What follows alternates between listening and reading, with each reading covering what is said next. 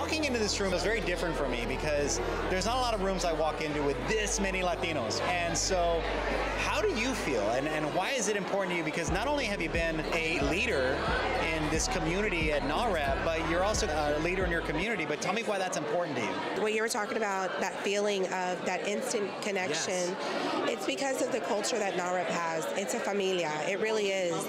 And really, at the end of the day, it all boils down to the reason why we work so hard and we sacrifice and we're here and away from kids, away from family, away from our business is because we do it for our kids. We do it for our familia.